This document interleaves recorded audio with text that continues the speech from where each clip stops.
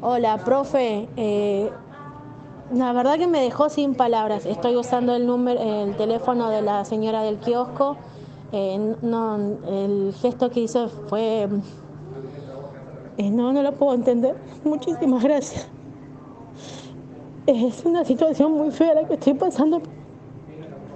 Estoy muy, muy choqueada con muchas cosas. La señora me prestó el teléfono. Yo, eh, muchísimas gracias. Nada más.